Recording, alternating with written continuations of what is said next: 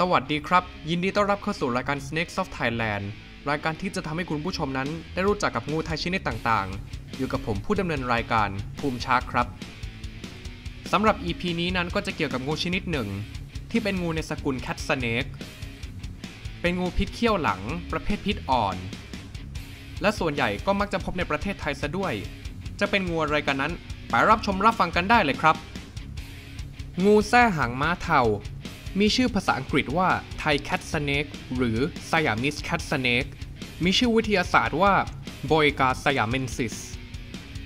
มีเขตแพร่กระจายอยู่ที่ประเทศพม่าและไทย และยังสามารถพบได้ที่ประเทศใกล้เคียงอาทิเช่น อินเดีย บังกลาเทศ ลาว กัมพูชา และเวียดนามได้อีกเช่นกัน มีความยาวตัวเต็มที่ประมาณ 170 เซนติเมตร งูแส้หางม้าเทาเป็นงูในสกุลงูแคทสเนกเช่นเดียวกันกับงูปล้องทองและงูเขียวบอลบริเวณลำตัวนั้นเป็นสีน้ำตาลอ่อน มีลายพาดที่เป็นลักษณะตัววีจำนวน 87-98 ลายพาดอยู่บริเวณลำตัว ซึ่งลายพาดดังกล่าวนั้นจะมีสีน้ำตาลเข้ม บริเวณลำตัวนั้นมีลายพาดกลอน และจะมีเกล็ดที่มีลายสีขาวขนาดเล็กๆ อยู่บริเวณข้างลำตัว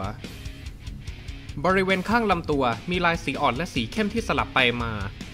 และลำตัวนั้นจะมีลักษณะเรียวยาว บริเวณหน้าผากนั้นเป็นสีน้ำตาล และจะมีลายแถบสีเข้ม จากบริเวณด้านหลังลูกตายาวไปถึงปล้องแรกบนคอ และส่วนหัวนั้นจะมีลักษณะที่แยกจากบริเวณคออย่างชัดเจน ส่วนท้องนั้นเป็นสีน้ำตาลอมเหลือง หรือสีน้ำตาลอมเทา มีลูกตาขนาดใหญ่ และในตาเป็นลักษณะแนวตั้ง ในธรรมชาติงูแส้หางม้าเท้านั้นสามารถพบอาศัยอยู่ได้ตามป่ากึ่งดิบเขาที่ไม่ผลัดใบ ในระดับความสูงที่ไม่เกิน 1,780 เมตรเหนือระดับน้ำทะเล โดยจะเป็นงูที่หากินอยู่บนต้นไม้ โดยสามารถพบอาศัยอยู่ได้ตามต้นไม้ที่สูงได้มากถึง 6 เมตร และจะล่าสัตว์ฟันแทะขนาดเล็ก นก และไข่นกกินเป็นอาหาร งูแส้หางม้าเท้านั้นสืบพันธุ์โดยการออกลูกเป็นไข่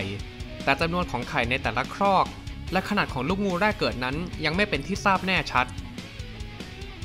งูแส้หางม้าเท้านั้นเป็นงูพิษเขี้ยวหลัง ซึ่งหมายความว่ามีเขี้ยวพิษอยู่ในบริเวณท้ายสุดของขากรรไกร โดยพิษของงูแส้หางม้าเทานั้นถูกจัดให้เป็นประเภทงูพิษอ่อน ซึ่งถือว่าไม่เป็นอันตรายต่อมนุษย์แต่อย่างใด ก็จบไปแล้วนะครับสำหรับ EP ที่ 37 เกี่ยวกับงูแส้หางม้าเทาถ้าคุณผู้ชมชอบก็กดไลค์ กดแชร์เพื่อแบ่งปันข้อมูลดีๆให้กับสังคม กด Subscribe เพื่อติดตาม และกดกระดิ่งเพื่อที่จะไม่พลาดคลิปใหม่ๆจากช่องผมสำหรับ EP ต่อไปนะครับ ก็จะเกี่ยวกับงูชนิดหนึ่ง ซึ่งถูกจัดให้เป็นงูพิษอ่อน แต่กลับมีลักษณะที่คล้ายเคียงกับงูพิษ และชื่อภาษาอังกฤษก็ยังบ่งบอกว่าเป็นงูที่เรียนแบบงูพิษอีกด้วย จะเป็นงูอะไรกันนั้น โปรดติดตามตอนต่อไป เจอกันใหม่ในคลิปต่อไปนะครับ สวัสดีครับ บ๊ายบาย